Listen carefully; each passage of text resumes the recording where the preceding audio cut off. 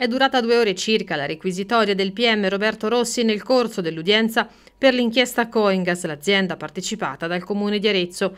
È stato chiesto il rinvio a giudizio per 11 dei 13 imputati, tra cui il sindaco di Arezzo Alessandro Ghinelli, l'assessore Alberto Merelli e il presidente di Estra Francesco Macri. A loro carico accuse che vanno dall'abuso d'ufficio al favoreggiamento. Decadono invece le accuse per il reato di abuso d'ufficio per Ghinelli e Merelli riguardo il ruolo in Coingas a seguito della modifica della norma.